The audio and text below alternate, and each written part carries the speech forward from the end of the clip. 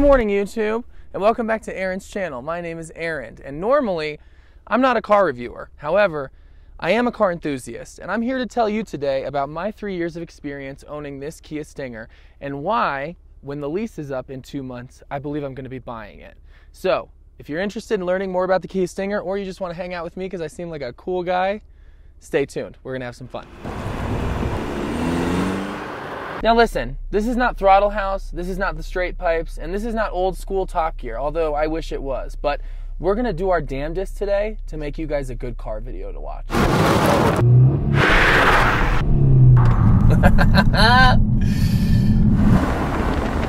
it is so beautiful out here on the mountain today. It is so, so, so, so beautiful.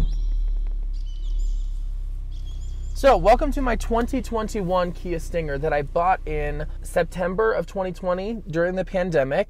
This is truly the first brand new, really nice car I ever bought for myself. I bought it back in 2020, uh, August, September of 2020. And the reason that I got it was because my little sister, Rihanna, was in college and pregnant with my nephew, River. She was in her last year of college, graduating with a music degree, about to have my nephew. And she had this little Honda Civic that was not doing her the best and had broken down. So I have this Honda Accord at the time, and I had saved up enough money to finally buy myself a new car like I had always wanted. Work was going well, career, all that stuff. So I'm like, you know what? I'm going to get myself like the car of cars that I've always wanted. I went and looked at the Kia Stingers, test drove a white one, a GT, really loved it, but I was like, listen, if you guys don't have ceramic silver I, with a red interior, I don't know if I can do it. Next day, the dealer calls me back and says, guess what just arrived on my truck? So I ended up buying it that day and gave my sister the Honda Accord. This was like my first really nice car that I ever bought for myself, brand new. Really enjoyed it. It was a win win situation for everyone involved.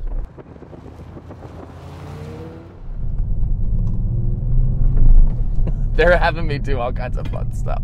The three year end of this lease is coming up in August, September, and I think I'm gonna buy this car. And I'd like to take you through a list of pros and cons that kind of give you my reason as to why I wanna buy this car and why I wanna own it forever. So let's talk about some of the pros. Number one, for the price of this car, I truly do not think that there is a single vehicle out there that is as fast, as quality built, and as refined as the Stinger. Just this past weekend, an Alfa Romeo Giulia Quadrifoglio um, on Turo in LA for a trip that I was on.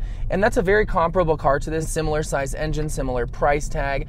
And oh my god, the, the Alfa just felt kind of like a plastic hunk of junk. The Stinger, like open and close the door, it feels like a big metal clunk the whole car really feels like a full, heavy, metal, good car. Especially in sport mode. You put this thing in sport mode and it's pretty insane. You put your foot down on the gas and it's really gonna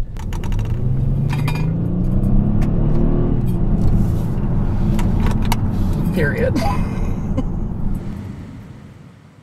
you put your foot down on the gas and it really will let you go as fast as it is that you want to go. Unless you're in comfort mode, which Slight con comfort mode can be a bit of a dog. Like sport mode, you definitely eat up 100% of your gas. In comfort mode, you might use a little bit less gas, but it's just not nearly as fun of a car to drive. And, the, and when you put your foot down, it really does go. Has no issues with that. Oh, I love driving this car so much. It's so fast. It's just so fucking fast. It's so I've had over 30 different cars in my lifetime, and the Stinger is one car that I have no desire to get rid of. Currently, I also have a brand new Cadillac XT5, which costs about $30,000 more than this car, and I also have an FJ Cruiser from 2010 that I am looking to trade in for a possible Raptor right now. But point being, love the Cadillac, but I don't plan on keeping that car past two years loved the FJ, but I haven't planned on keeping that. But the Stinger, I want to keep it forever. I want to keep this car until it's a classic. And when I compare this car with a lot of things, the twenty to thirty thousand dollar more expensive car that is the Cadillac, it's not even close how much better the Stinger is in almost every single way. For example, sometimes the buttons on the steering wheel of the Cadillac for a sixty-five, seventy thousand dollar car just stop working. It, that never happens with the Stinger, whether it's Apple Play, whether it's a Bluetooth, whatever it is. None of the infotainment stuff ever doesn't work. They've got that really nailed down. All of the electronics of the seats, of the uh, driver's aids, of everything, everything always just works. There's no issues. You never have to worry about the Stinger not working. Reliability, a million percent. It also came with factory standard, a 10 year, 100,000 mile warranty, and the dealership that I bought it from, as long as I own it forever, it comes with a lifetime unlimited warranty, which I've already had to exercise once because of this darn middle console.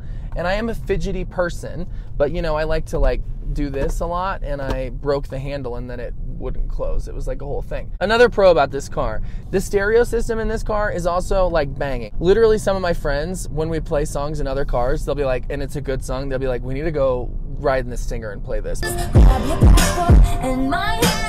Can make the bad guys good for a weekend. Something about this stereo system, the size of the car, where all the speakers are, that you just feel every inch of every song. The seats in here are also very comfortable. Very few people have actually sat back here. I've done long road trips in this car, even though it only has 18,000 miles and I've had it for three years. We've done a few long road trips with it, and you never get that like crampy leg thing. The leather in here is unmatched. I will say this one time I did get this car detail cleaned, and they put this like shiny stuff all over it that like you know they do when they detail like an older car. And normally that would look really good, but in here it just looked awful. Like this car, as it is naturally just cleaned up, looks really really great. Another pro is sex appeal. I get lots of people staring at this car. I get lots of people asking what it is. The con flip side of that is that no matter what, friends, no matter what, it's a Kia. Your friends, if you own this car, are going to be like, they're going to call it a Kia and they're going to say it in a slur way. Someone in your life is going to call it a Kia. Your family members are going to call it a Kia. And it's going to hurt you because even though it is a Kia, People don't recognize that it was made in a factory all on its own, designed by one of the world's greatest car designers ever to have lived, and they built an entire luxury brand off of the basis of this car that is Genesis. Is it a Kia? Yes. Is it everything that defined what Kia was going to be into the future? Yes. Is it the Korean Mustang, as they call it? Yes. Is it a badass little car that will take on any standard V8 Mustang off the line? Uh, yeah, and have many multiple times. But people will call it a Kia and they will mean it as a slur, and it's not funny. Another pro is that it's great in the snow. The all wheel drive system is amazing. However, I personally do not drive it in the snow anymore. I lock her up every winter because last winter I ended up popping three tires because of things that were obstructed by snow that I couldn't see. And if you just barely hit even the absolute lightest little tiny pothole, you're gonna wreck your tires because the rims on this, the GT1 at least, are so big. But this car is a GT1. It's a 2021 GT1. So I don't have the heads up display, which is fine with me. Um, and I think that that's pretty much it. And possibly an automatic opening lift gate, which I would love to have an automatic opening lift gate. It's annoying. I think that's one thing that honestly should have been standard on all of the GT options. So we'll put that under the cons list for now. But it is great in the snow if you need it to be and you're on a road that you know is well serviced and well repaired. You could definitely drive it in the snow. It gets around just fine. It has no issues. It's just a matter of like potholes and being wary of them and being careful. Random little pro, automatic brights. When you turn the brights on, if you're driving along at night in the mountains like I do sometimes and another car starts coming at you, the brights will turn down. A couple more pros include like standard blind spot protection, lane keep assist. It's got the cruise control that will stop and start in stop and go traffic on the highway. If you guys knew how closely I am following this camera truck right now,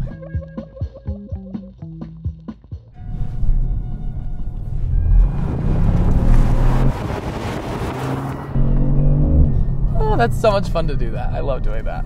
Let's talk about cons, shall we? Cost me $700 a month to lease this car. That is a con. And you know what? Maybe it's not, and I'm definitely in a different place financially than I was then. And as life goes on and I work harder and, you know, grow in my career, I can afford more things. But this was definitely the first car that I ever dropped that big of a car payment on It was a lease at first, it is a lease now, and I am going to be buying it out. I think the value of the car when I purchase it from Kia at the end of the lease is like $20,000. The car is probably still worth like 45, 50, maybe even 55 on a really good day. Doesn't make sense. When you lease a car, you're supposed to be paying for the depreciation. I overpaid the depreciation, so it makes no sense to give Kia back this car. I'm keeping this car. This car is mine now. Also, it's really bad on gas. Again, I don't use this as a daily driver. Even my little Cadillac SUV is better on gas than this thing is. This is a fun car for me.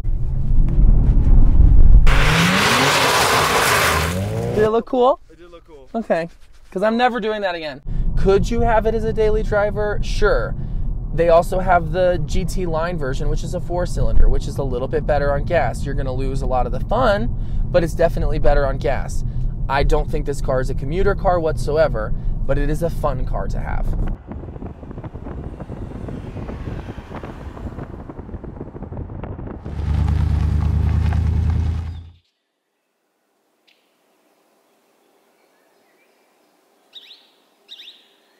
First time reviewing a car like this, so uh, please forgive me if the flow is a little unique.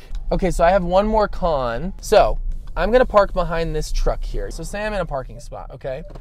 Now, I am in this spot. I'm gonna turn the car off. I'm gonna open the door. I'm gonna get out. I'm gonna get back in. Turn the car on. I'm gonna put the car in reverse. Ready?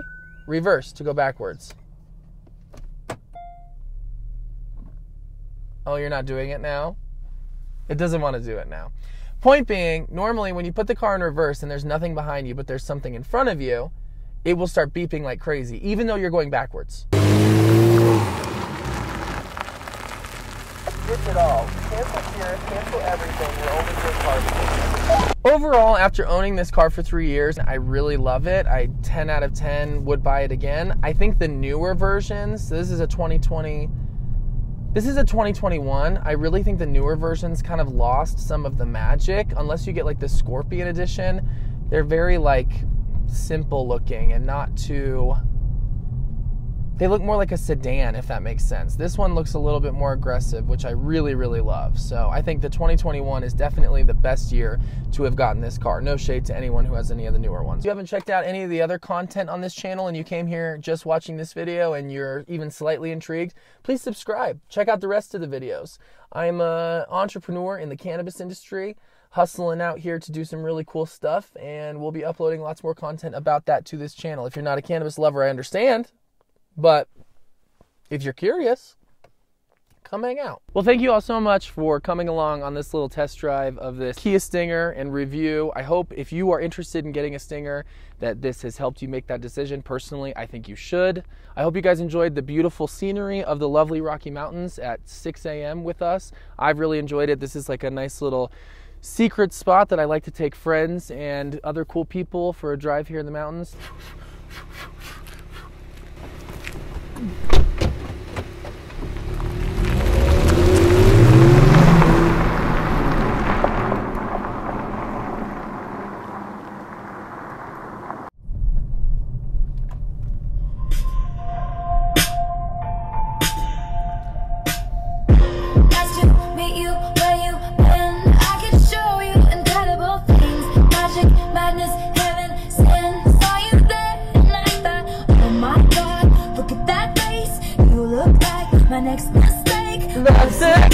Oh.